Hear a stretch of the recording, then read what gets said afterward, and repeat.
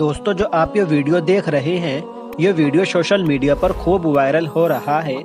आप इस वीडियो में देख सकते हैं, एक शख्स क्रेन के ऊपर नमाज़ पढ़ रहा है। दोस्तों, हशर के दिन सबसे पहले नमाज़ के बारे में सवाल पूछा जाएगा। जो शख्स इस सवाल में पास हो गया, उसके बाकी सवालों में भी आसानी फरमा दी जाएगी।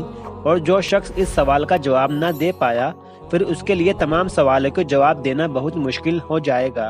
दोस्तों, वीडियो में नज़र आने वाले इस शख्स को अल्लाह का कितना ज़्यादा खौफ है कि यह शख्स नमाज़ के वक्त होते ही तमाम कामों को छोड़कर इतनी ऊँची जगह करेन के ऊपर ही नमाज़ पढ़ने लगा।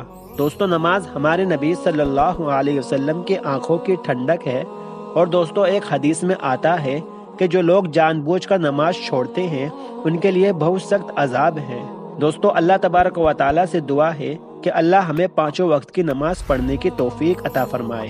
आप अपनी इस वीडियो के बारे में क्या राय रखते हैं, कमेंट करके ज़रूर बताइएगा और हमारे चैनल को सब्सक्राइब करके बेल आइकन पर क्लिक कर।